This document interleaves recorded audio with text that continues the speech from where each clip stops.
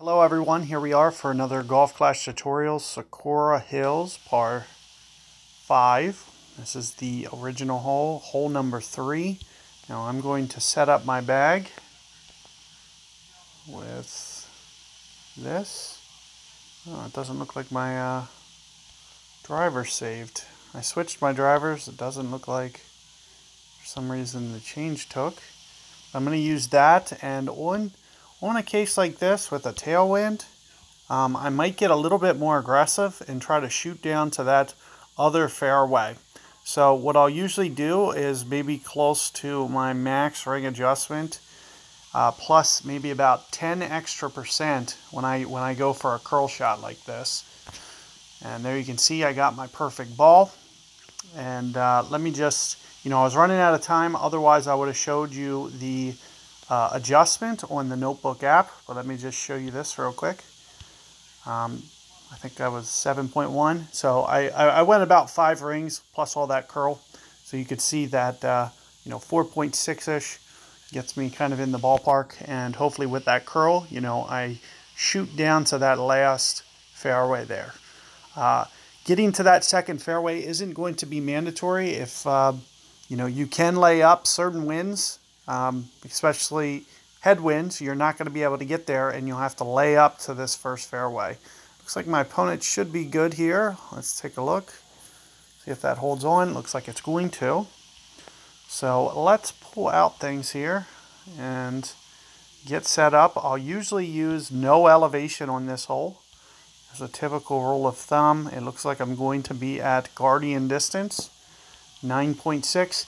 Keep in mind that uh, you know you might want to use sniper for this tour, but only if it's a level 8. If it isn't a level 8, then you're going to probably you know not want to do so. Now you can see that I was touching min club, but I'm going to be pulling up towards max club. So I'm going to have to factor that in. And also, you know, with my backspin um, into a headwind like this, especially up and up slope, I need to make sure that I'm very careful and here you can see 5.7 rings here. I'm actually going to go a little bit more than six rings. I actually call it a great ball. But it is going to uh, check up, you know, much more rapidly. You can see it coming in here and just barely rolling through. It uh, comes in much slower with the um, with the headwind wind effect. So you do want to keep that ball guide a little past the hole. As you can see, I put my third bounce basically right around the hole, and it, it turned out that my fourth bounce ended up near the hole using that adjustment.